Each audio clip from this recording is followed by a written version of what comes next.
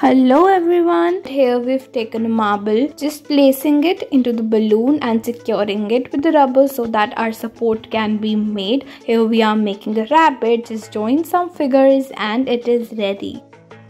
Let's move ahead here we are making a sunflower flower pot as you can see we are taking yellow paper shavings for this making flower and then we are completing it by making the stems and some more detailings.